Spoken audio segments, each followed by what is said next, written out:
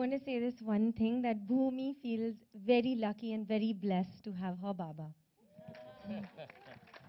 it's really been uh, an amazing journey for me, and I feel so lucky to have been a part of Sanju sir's comeback film.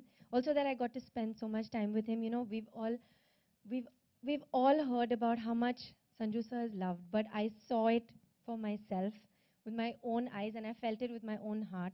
The way that he takes you into his family, the way he protects you, actually like that. Uh, the way he's always there for you, the, the way that he listens to what you have to say, and as a co-actor, he's just incredible. You don't feel nervous. He looks very intimidating, but I always say he's the big friendly giant.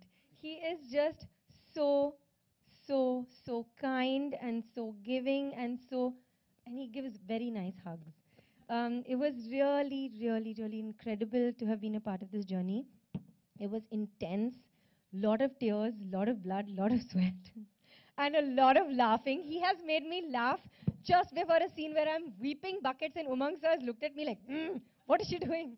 But it's all his fault. but it's really been incredible, and thank you, Omung sir, for giving me this opportunity. Thank you, Sandeep, thank you. for thinking of me for this. Thank you, Vidhu Vinod Chopra sir. Vidhu sir, I'm always happy to see you, and you have been a big part of my journey. And Raju sir, inspi inspiring as always. And Ranbir, you know you're my favorite.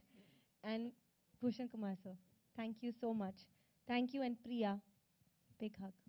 And thank you to every single co-star and everybody from the Bhoomi team. Thank you so much.